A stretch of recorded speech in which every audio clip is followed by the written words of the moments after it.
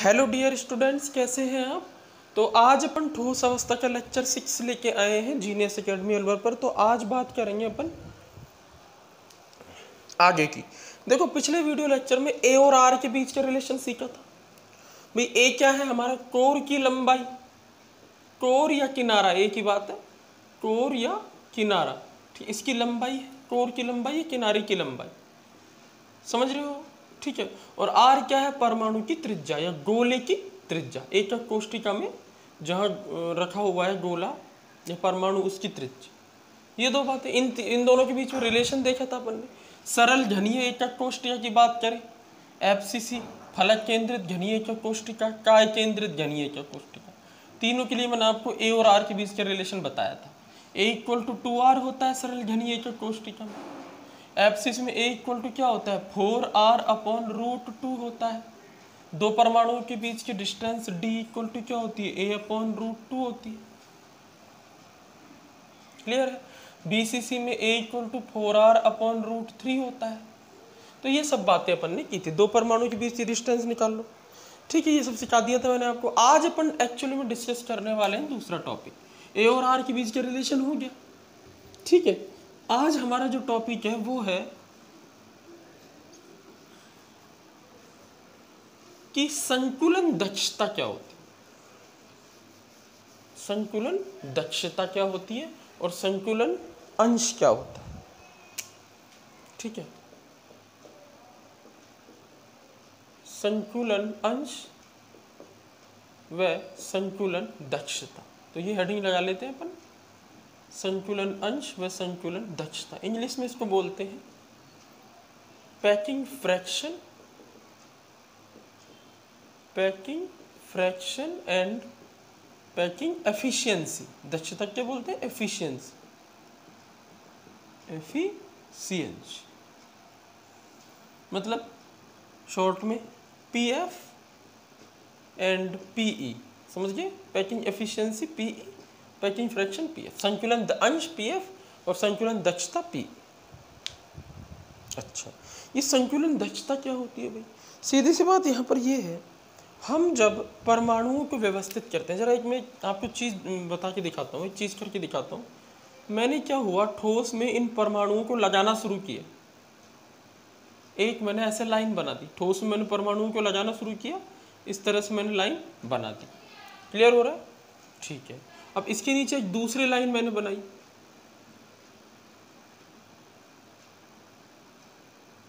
इस तरह से दूसरी लाइन बना दी मैंने परमाणु एक तीसरी लाइन मैंने बना दी।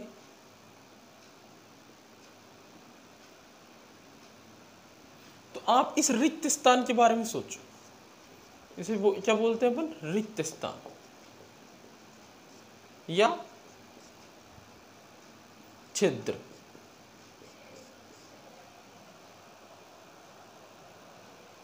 ठीक है? अच्छा। एक तो ये व्यवस्था है। एक दूसरी व्यवस्था और है इस पर विचार करते हैं।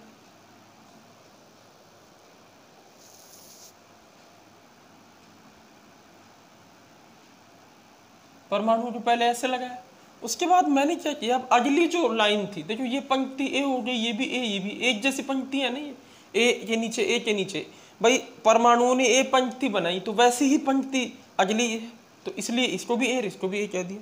लेकिन दूसरी व्यवस्था ये हो सकती है कि हम परमाणुओं को, इन परमाणुओं के जस्ट नीचे ना रख करके इनमें जो एक गैप बना हुआ है, देखो, इनको बोलते हैं गड्ढे। पहली लाइन के जो गड्ढे हैं, इनमें भर देते हैं परमाणु। जैसे लड्डू लो आप, लड्डुओं को ऐसे रखो, पहले इस तरह रखो उसके हर एक लड्डू के ऊपर ही जस्ट दूसरी लेयर लगा दो उसके साइड में लगा दो। या फिर दूसरा तरीका हो सकता है कि जो पहली लाइन है, उनके बीच में जो गैप है, गड्ढे हैं इनको क्या बोलते हैं? गड्ढे गड्ढों में लगा दो, अवनमन। जरा समझ समझना। ये है अवनमट अवनमट या गड्ढे इनमें भर दो दूसरी। फिर तीसरी में क्या करोगे उसी तरह लगा दो, पहले की तरह।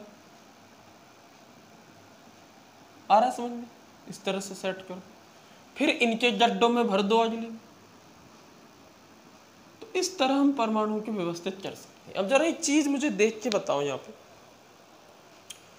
यहाँ ये इसको ए लाइन बोलता हूँ, इसको बी इसको ए इसको बी क्योंकि अलग तरीके का पैटर्न गड्ढों में परमाणु गए जस्ट नीचे नहीं गए फिर ए तरीके का पैटर्न आ जाए, फिर बी तरीके का। तो A B A B pattern हो।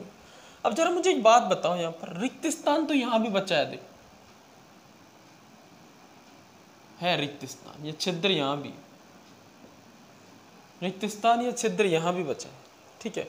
और रिक्त स्थान या छिद्र यहाँ भी बचा यहाँ जो रिक्त स्थान या छिद्र बचा हुआ है, इसको अपन बोलते हैं वर्गाकार देखो वर्गाकार रिक्त स्थान है चार एटम इसको घेरे हुए और यहाँ त्रिभुजीय है, देखो, तीन एटम घेरे तो एक बात बताओ मेरे को त्रिभुजीय रिक्त स्थान बहुत ही छोटा है?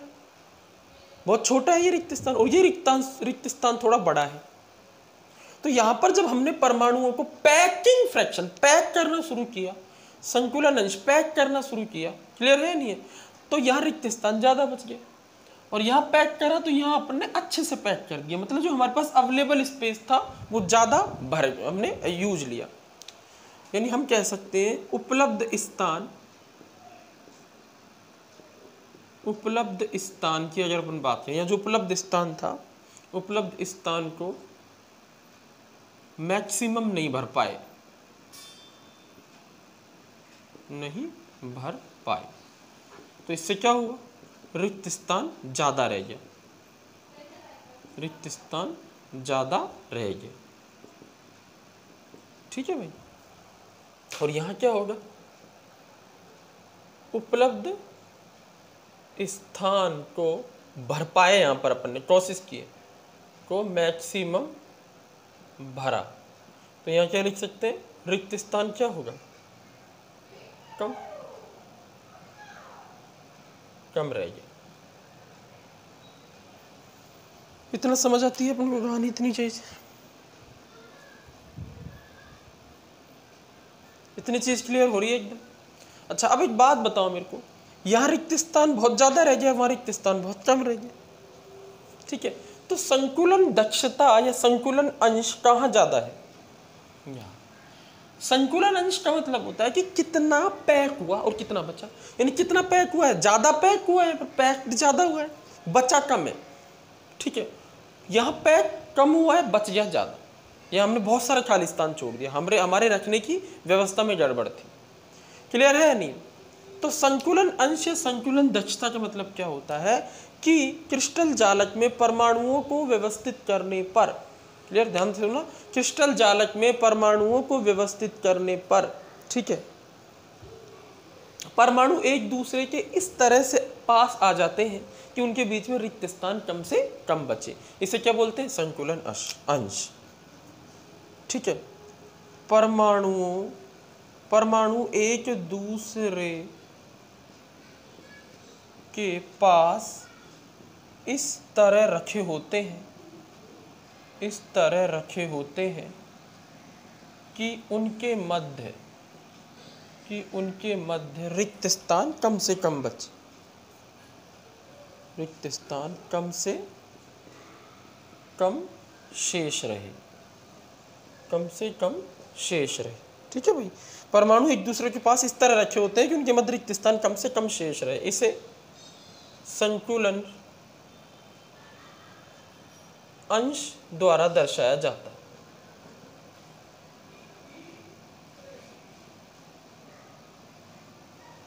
एक चीज़ और संकुलन दक्षता क्या होती है? जब संकुलन अंश को हम प्रतिशत में व्यक्त करते हैं तो उसे संकुलन दक्षता कहते हैं। जब जब संकुलन अंश को संकुलन अंश हमेशा एक या एक से कम एक से कम ही आएगा, एक तो आ ही नहीं सकता, एक से कम। अंश मतलब फ्रैक्शन फ्रैक्शन एक से कम ही आता है। जब संकुलन अंश को प्रतिशत में दर्शाया जाए, प्रतिशत में दर्शाएँ तो इससे क्या कहते हैं? संकुलन दक्षता, ये अंतर है बस दोनों। वो भी उसी चीज़ को बता रही है कि परमाणु एक दूसरे के पास कितने, क्लोज है, कितने दूर है। दर्शाएँ तो इसे संकुलन दक्षता कहते हैं। ठीक है? इसको मैं व्यवस्था ए बोल दूँ इसको व्यवस्था बी बोल दूँ। तो हम कहेंगे फिर व्यवस्था ए व्यवस्था ए में संकुलन अंश या संकुलन दक्षता, एक ही बात है वैसे प्रतिशत में लिखा जाता है। संकुलन दक्षता, जैसे मान लो संकुलन अंश ज़ीरो पॉइंट बावन आ रहा है तो संकुलन दक्षता बावन परसेंट आएगी। समझ रहे हो ना कहानी? सौ से मल्टीप्लाई कर देते हैं ना, अगर संकुलन अंश को तो दक्षता बन जाती है। तो इसे संकुलन दक्षता, व्यवस्था ए में संकुलन अंश या संकुलन दक्षता बी से कम है समझ गए बी में ज़्यादा है। हमने बी में अलग तरीके से रखा। हमने दिमाग लगाया और परमाणु को इस तरह रखा कि व्यवस्था जो रिक्त स्थान है वो कम से कम बचे। क्लियर है भाई एकदम? ठीक है। अब बात आती है कि इसका फॉर्मूला क्या है। मतलब हम संकुलन अंश या संकुलन दक्षता का फॉर्मूला क्या होता है? तो जरा समझ लो। फॉर्मूला भी संकुलन अंश का फॉर्मूला इसको बोलते हैं पी एफ़ पैकिंग फ्रैक्शन बराबर। जरा समझो। जो हमारी एकक कोष्टिका है, उसमें अपन गणना करेंगे, जो तीन प्रकार की जो कोष्टिकाएँ पढ़ा रहा हूँ मैं S C C B C C और एफ़ सी सी उनमें अपन को संकुलन अंश या दक्षता की गणना करनी है। अब एक बात बताओ।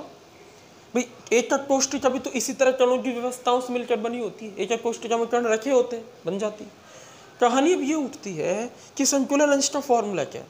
एकक कोष्टिका में जितने भी कण हैं जरा एक बात बताओ एससीसी की एकक कोष्टिका में एक ही कण होगा? अरे हर एक कोने पर एक कण रखा होता है, आठ कोने होते हैं, एक एक कोने से योगदान एक बटा आठ होता है तो एक ही तो कण आता है। और एफसीसी में कितने कण आते हैं? उसी एकक कोष्टिका में चार, और बीसीसी में कितने आते हैं? दो। तो ये तीनों एकक कोष्टिका घनी है तो घन का आयतन इन तीनों में फिक्स है। एकक कोष्टिका का आयतन तो इन तीनों में फिक्स है, जरा समझना। एस का आयतन भी क्या है? ए क्यूब ए क्यूब कैसे है सर? अरे लंबाई बराबर चौड़ाई बराबर ऊंचाई। क्रिस्टल पैरामीटर बताए थे ना घन के। लंबाई चौड़ाई ऊंचाई बराबर है। तो कोर की लंबाई कोर की लंबाई ए है चौड़ाई बी है ऊंचाई सी है। तो तीनों को ए ही मान लो क्योंकि बराबर है। तो ए ए ए, ए क्यूब हो जाएगा आयतन घन का। तो इस घन का आयतन भी ए क्यूब है इसका भी आयतन भी ए क्यूब है इसका भी आय, इसका आयतन भी ए क्यूब है। तीनों एकक कोष्टिकाओं का आयतन फिक्स है। कुल आयतन। इसको बोलते हैं कुल आयतन। इन तीनों एकक कोष्टिकाओं का कुल आयतन कितना है? ए क्यूब ठीक है फिक्स है। अब एक एकक कोष्टिका में जो कण रखे हुए हैं, उनका आयतन कितना तो उपलब्ध आयतन तो एक क्यूब है, पूरी एकक कोष्टिका खाली पड़ी, अब कणों को उसमें रखना है। ठीक है तो एस में एक ही कण रखा होता है। एफ़ वैसे तो आठ रखे होते हैं कौन पर लेकिन एक ही योगदान देते हैं। एफ़ में चार कण रखे होते हैं और बीसीसी में दो कण रखे होते हैं। तो खुद से सोच के बताओ कि सबसे ज़्यादा उपलब्ध आयतन को सबसे ज़्यादा यूज़ कौन लेगी एफसीसी चार कण रखे होंगे। चार कणों का आयतन क्या होगा? एक कण से चार गुना होगा। क्लियर है नहीं? तो उपलब्ध आयतन का सबसे ज़्यादा हिस्सा कौन कवर करेगी? एफसीसी तो यहाँ संकुलन दक्षता ज़्यादा आएगी। फील आ रहा है? ठीक है बीसीसी उससे कम कवर करेगी ऑक्यूपाई यहाँ कम आ रहा है, और एस सी भाई, तीन बच्चे एक साल सबके लिए उपलब्ध है पढ़ने के लिए। अब उन तीनों की एफिशिएंसी दक्षता अलग अलग होगी, सीधी सी बात। उस एक साल में एक बच्चा तो बहुत ज़्यादा पढ़ लेगा, उपलब्ध समय का पूरा पूरा उपयोग कर लेगा। एक बहुत ही कम पढ़ेगा, एक बीच का होगा। वो वाली कहानी। तो इसका फॉर्मूला सीधे सीधे देख लेते हैं, सर, जल्दी से ललचाओ मत, हमें फॉर्मूला बता दो। भाई, सीधी सी बात है फॉर्मूला मैंने आपको सिखा दिया कैसे बने। इसका फॉर्मूला क्या होता है? एकक कोष्टिका में कणों द्वारा घेरा गया आयतन, कणों द्वारा घेरा गया आयतन। एकक कोष्टिका में कण कितना आयतन घेर रहे हैं? बटा एकक कोष्टिका का कुल आयतन। एकक कोष्टिका का कुल आयतन ये तो हो गया हमारा पीएफ का फॉर्मूला अब इसी फॉर्मूले को अगर सौ से गुणा कर दू तो हो जाएगा पीई पीई संकुलन दक्षता। क्या हो जाएगा? संकुलन दक्षता। क्लियर है? अब इसको कैलकुलेट कैसे करेंगे? अरे एक कोष्टिका में कण कितना आयतन घेर रहे हैं वो देख लो। ठीक है ना? भाई, इसकी वैल्यू जो ऊपर अंश दिखाई दे रहा है, इसकी वैल्यू एस में अलग जाएगी बीसीसी में अलग जाएगी एफ़ सी सी में अलग जाएगी एस सी सी में जेड की वैल्यू एक ही होती है बी सी सी में जेड की वैल्यू दो एफ़ सी सी में जेड की वैल्यू तीन सॉरी चार। अगर आपको नहीं पता जेड की वैल्यू कैसे निकालते हैं तो पिछला वीडियो लेक्चर जाके देखो। कंटिन्यूस देखना है, वो पड़ेगा तभी अच्छे से क्लियर होगा। एस में एक बी में दो और एफ़ में चार। क्लियर है ना तो यहाँ पर क्या करेंगे अपन? एक एक कोष्टिका में कणों द्वारा घेरा जाया आयतन एस सी सी है तो एक कण द्वारा घेरा जाया आयतन रख देंगे और अपन कुल आयतन ए क्यूब रखना है। कुल आयतन तो एक क्यूब रखना है। बीसीसी में या दो कणों द्वारा घेरा जाए आयतन रखें और एफसीसी में चार कणों द्वारा घेरा जाए आयतन रखें चार कण, सबसे ज़्यादा आयतन घेरेंगे तो संकुलन दक्षता ज़्यादा है। क्लियर है नहीं? चलो, बहुत बढ़िया ना। तो अब अपन फॉर्मूला बना लेते हैं तीनों के लिए। अब हम क्या करते हैं? तीनों प्रकार की जो एकक कोष्टिकाएँ हैं, उनके लिए अच्छा पीई हो गया पीएफ पीएफ हो गया पीई क्या होगा संकुलन दक्षता PF into hundred P F into hundred यानी इसको बस मल्टीप्लाई करना है सौ से परसेंट में आंसर आ जाएगा। यानी संकुलन दक्षता किसमें निकल जाएगी? प्रतिशत में निकल जाएगी। आई होप यहाँ तक समझ आ रहा है अच्छे से आप, ठीक है? अब अपन जल्दी से फॉर्मूला निकाल देते हैं, फिर घनत्व का एक फॉर्मूला और देखेंगे। कुल एकक कोष्टिकाएँ कैसे निकालते हैं? दिए गए आयतन, वो बड़ा अच्छा टॉपिक है। चलो।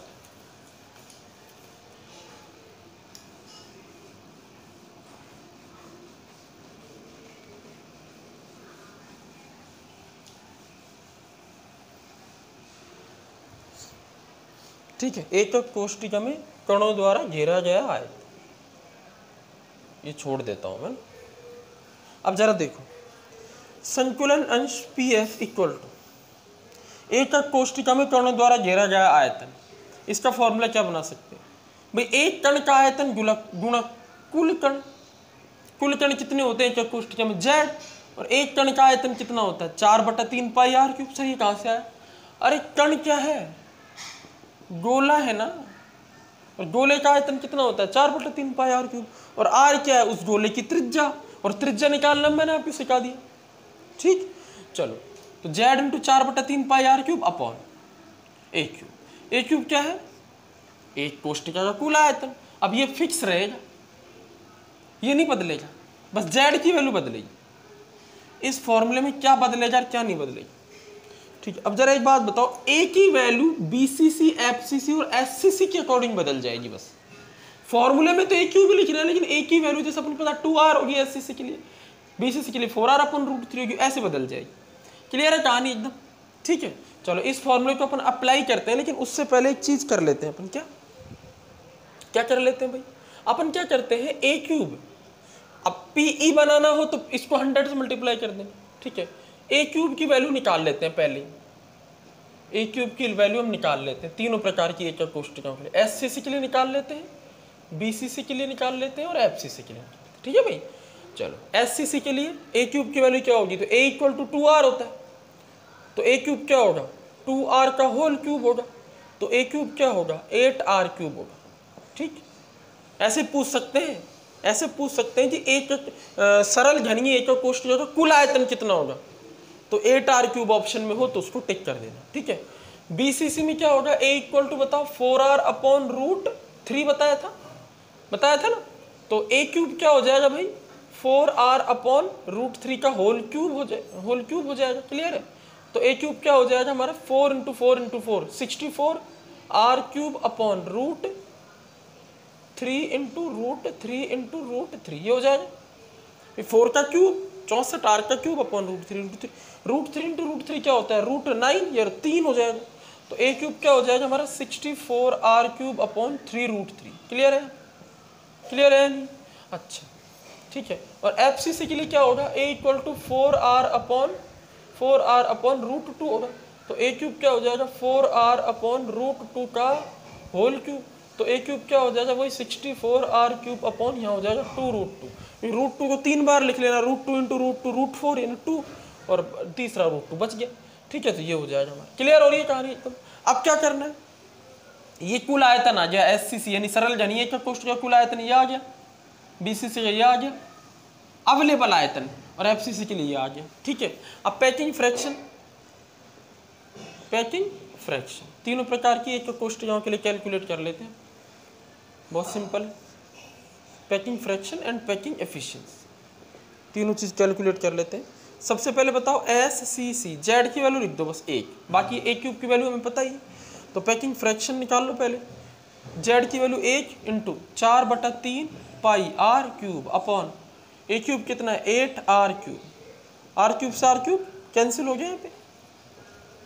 ठीक? और ये हो जाएगा हमारा दो बार कैंसिल तो पैकिंग फ्रैक्शन क्या आएगा हमारा?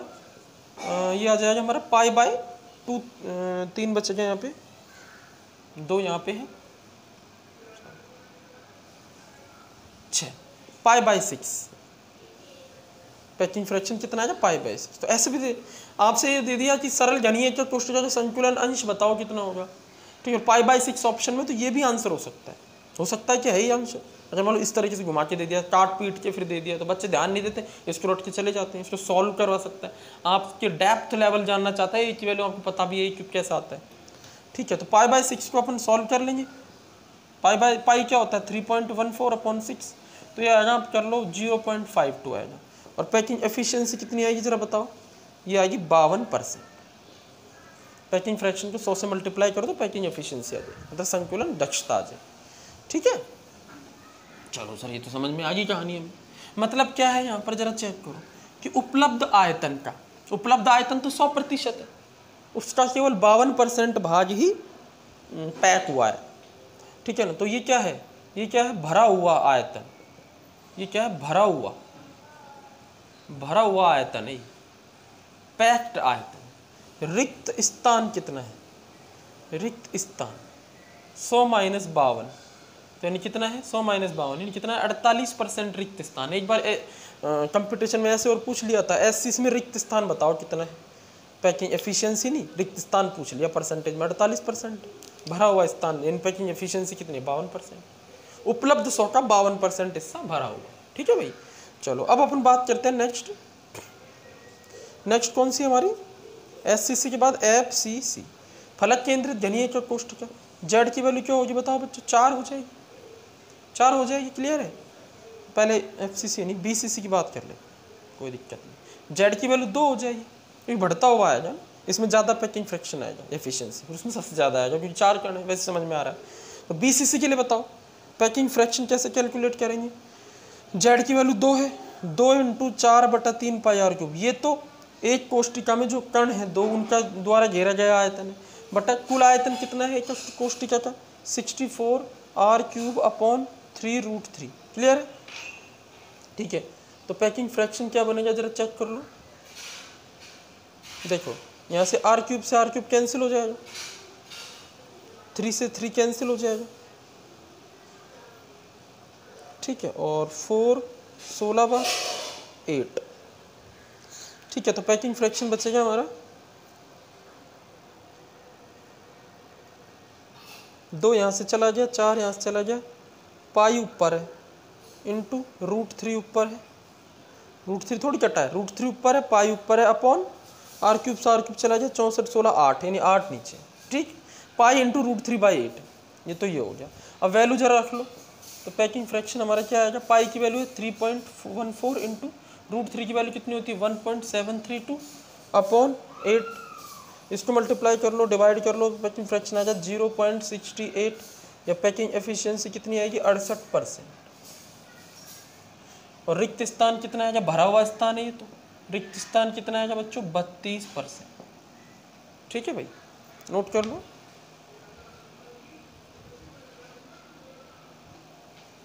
चलो। अब अपन डिस्कस करेंगे नेक्स्ट बीसीसी के बाद है हमारा लास्ट एफसीसी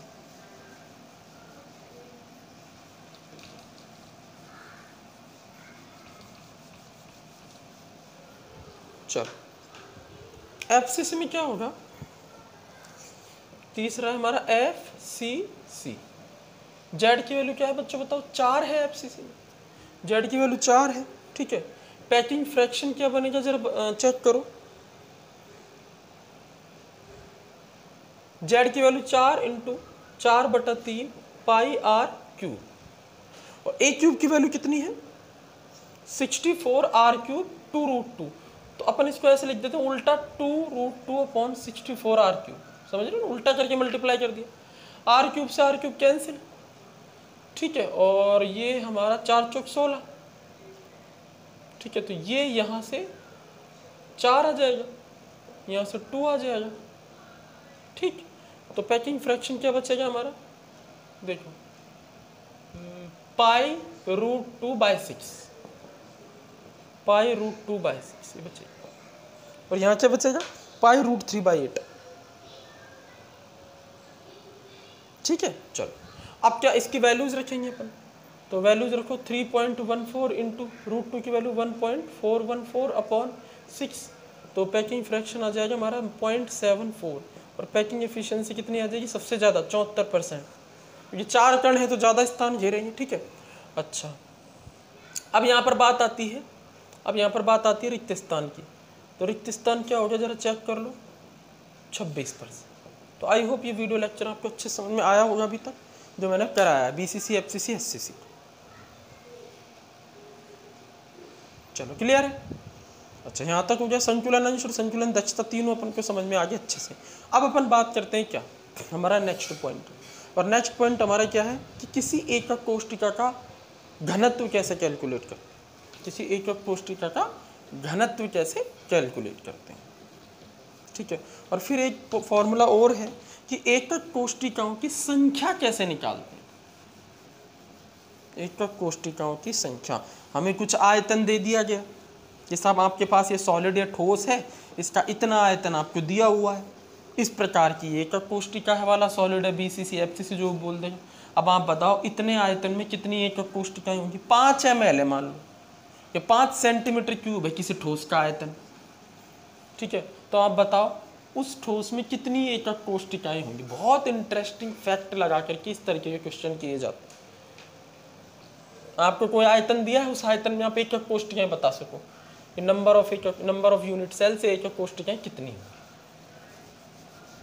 चलो। अब अपन बात करते हैं हमारे नेक्स्ट टॉपिक की, और वो है कि साहब एकक कोष्टिका का घनत्व कैसे कैलकुलेट किया जा सकता है। तो लगा लेते हैं अपन। एकक कोष्टिका का घनत्व या डेंसिटी भाई घनत्व क्या होता है? सीधी सी बात है घनत्व का एक ही फॉर्मूला है, द्रव्यमान बटा आयतन।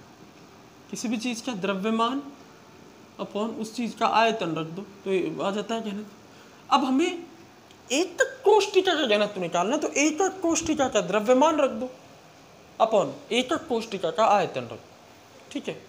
तो यहाँ फॉर्मूला बन जाएगा हमारा एकक कोष्टिका का द्रव्यमान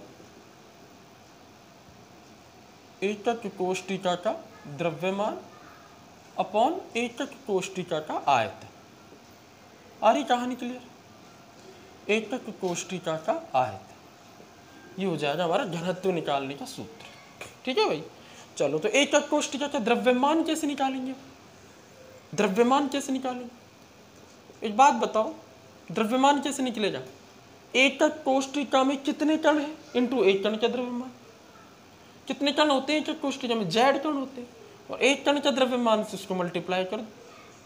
एक कण का द्रव्यमान। स्मॉल एम अपॉन एकक कोष्टिका का आयतन। एकक कोष्टिका का आयतन कितना होता है? ए क्यूब होता है। ठीक है? और ये हो जाएगा हमारा घनत्व का फॉर्मूला अब कहानी ये आती है, यानी डेंसिटी का formula Z into small M upon A अब एक एक कण का या एक परमाणु का द्रव्यमान क्या होगा? जो एक कोष्टिका के कोने पर, फलक के केंद्र पर, या काय केंद्र पर रखा हुआ है ना, उस कण का द्रव्यमान, उसकी बात कर रहे हैं। तो एक कण का द्रव्यमान क्या होता है? ये कैसे निकालेंगे? तो सीधी सी बात है, एक मोल कणु का द्रव्यमान क्या होता है बताओ। एक मोल कणु का द्रव्यमान मतलब एन ए एक मोल में कितने कण होते हैं? अवोगाद्रो नंबर के बराबर। एन ए कणों का द्रव्यमान कैसे निकालते हैं बच्चों? एन ए कणों का द्रव्यमान, याद आ रहा कुछ? याद आ रहा है कुछ? मोलर द्रव्यमान। याद आ रहा है? मोलर द्रव्यमान। मोलर द्रव्यमान क्या होता है? एक मोल कणु का द्रव्यमान। ठीक है तो वो क्या होता है? मोलर द्रव्यमान, कैपिटल है मोलर द्रव्यमान तो आपको निकालना आता है ना? जिसे अणुभार भी कहा जाता है। ग्राम अणुभार या ग्राम परमाणु भार कहा जाता है। ये क्या चीज़ है? ग्राम परमाणु भार परमाणु भार कब यूज़ लेंगे जब? परमाणु हो कण परमाणु अवस्था में हो। और अगर अणु अवस्था में है तो ग्राम अणु भार यूज़ करते वैसे यहाँ ज़्यादातर आपको परमाणु भार ही मिलेंगे, क्यों? क्योंकि जैसे मान लो मेटल की बात करेगा ज़्यादातर वो जिंक ठोस है, ठीक है ना?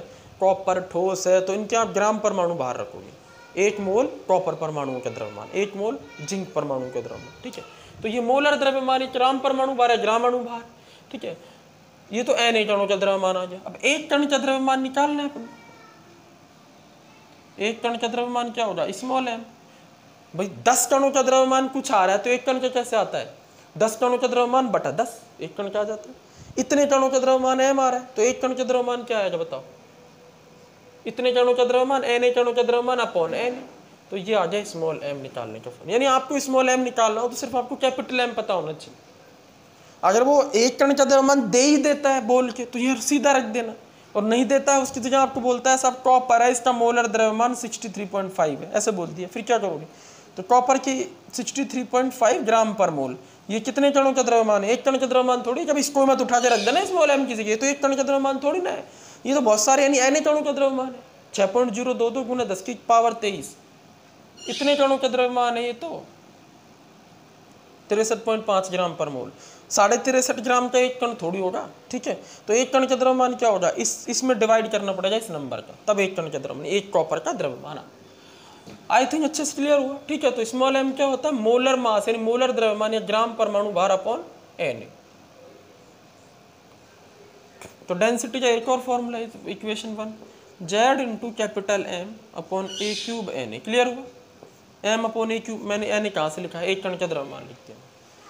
तो ये very very important this is very very important form इससे आप निकाल सकते हो। ठीक है, इसको नोट कर लो, ये घनत्व का फॉर्मूला है। किसी एक कोष्ट का घनत्व इस सूत्र से अपन निकाल सकते हैं। क्लियर अच्छा अब एक बात बताओ, हमें घनत्व भी मिल गया। अब हम क्या ये कैलकुलेट कर सकते हैं क्या?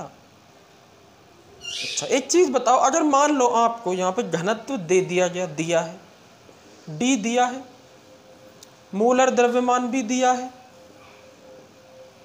एन ए तो देने की ज़रूरत ही नहीं है, सब बच्चों को पता है। इसकी वैल्यू तो कांस्टेंट होती है ना। ठीक है। एक कोर की लंबाई, कोर की लंबाई आपको दी हुई है। कोर की लंबाई दी है।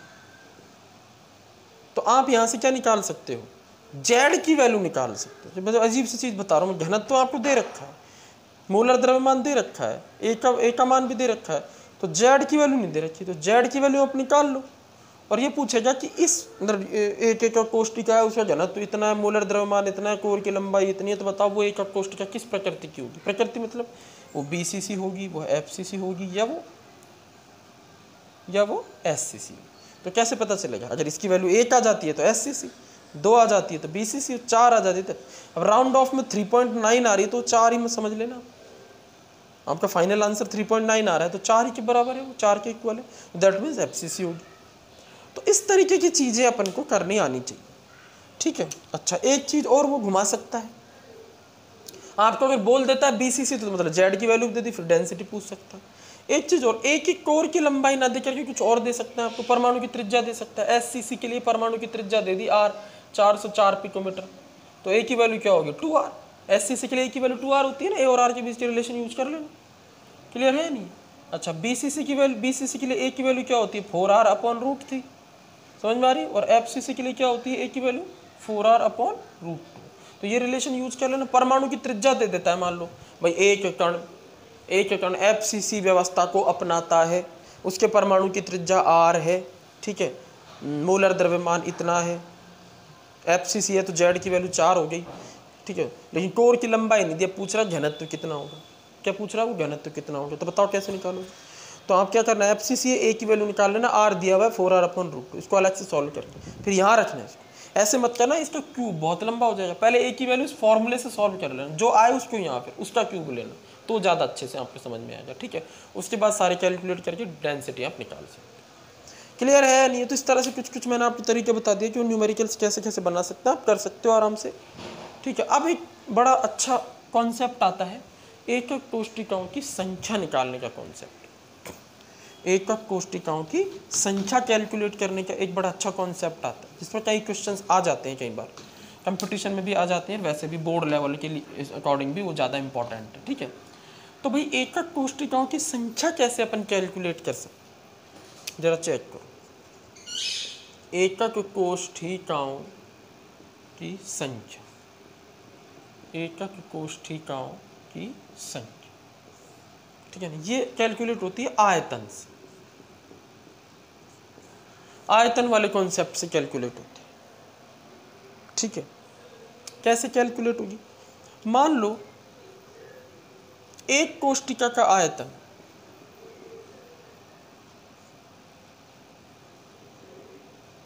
आपको नहीं दिया हो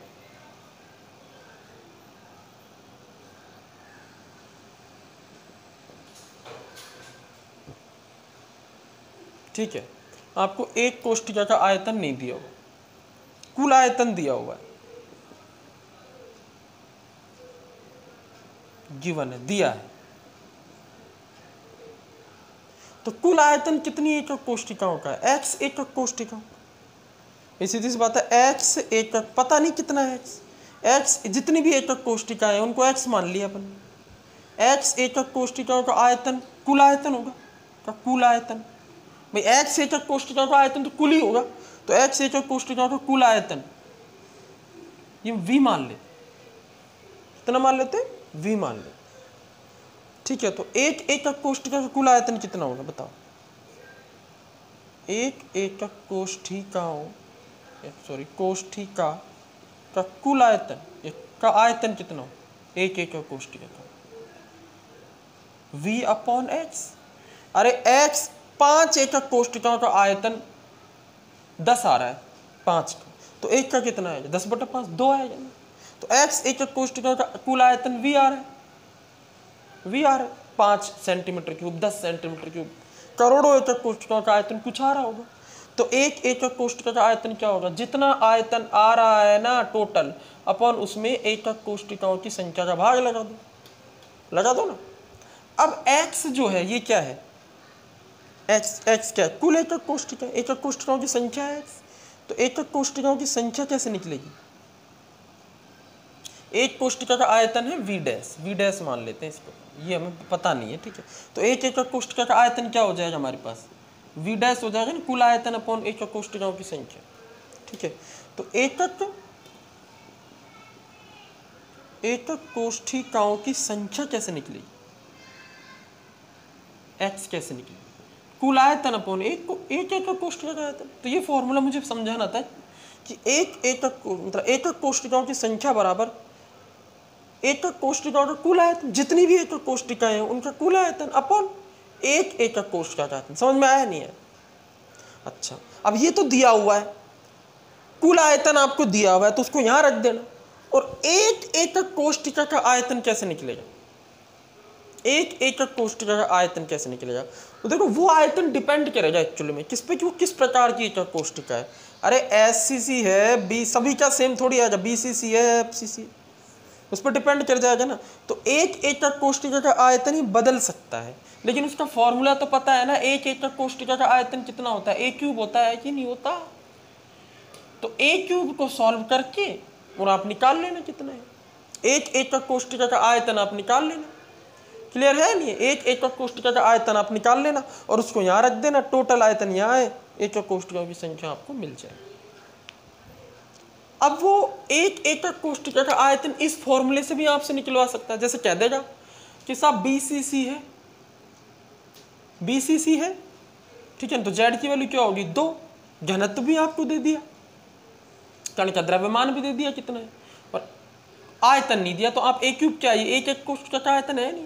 एक कोष्टिका का घनत्व क्या होता है? एक कोष्टिका का द्रव्यमान अपन एक कोष्टिका का आयतन तो एक कोष्टिका का आयतन ही तो चाहिए वी डैश ये वी डैश ही है एक्चुअली में। तो यहाँ से वी डैश निकलवा लंबी चौड़ी कैलकुलेशन हो जाएगी, लेकिन यहाँ से वी डैश निकलवा ले सारी चीज़ें रख के यहाँ रखो, कुल आयतन दिया हुआ यहाँ रखो। एक्स की वैल्यू आ जाए। ऐसे क्वेश्चन कई बार पूछे गए हैं। ठीक है तो आई होप ये वाला फॉर्मूला आपने गेन किया होगा, अच्छे से समझ में आया होगा।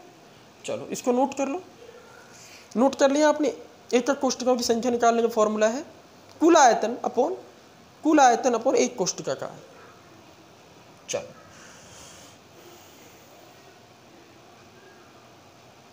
चलो। तो आज के वीडियो लेक्चर में अपन ने पढ़ा कि संकुलन दक्षता कैसे निकालते हैं संकुलन अंश कैसे निकालते हैं अलग अलग एक कोष्टिकाओं के लिए।